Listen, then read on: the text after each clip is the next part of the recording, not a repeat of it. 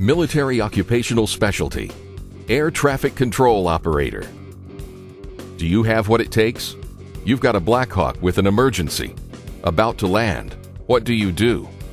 Well, once you pass the Army Class 4 flight physical and satisfactorily complete other requirements, the Army will train you in the skills essential to control aircraft in support of Army aviation.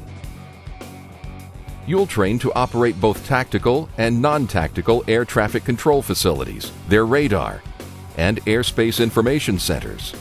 You'll also train to relocate and to install tactical air traffic control facilities and operate navigational aids.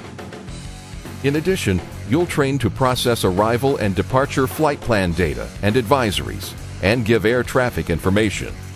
You'll also train to update automated terminal information systems process computer-generated traffic control data, maintain logs, records, and voice tapes made during flights, plus identify and resolve potential air traffic conflicts before they become problems.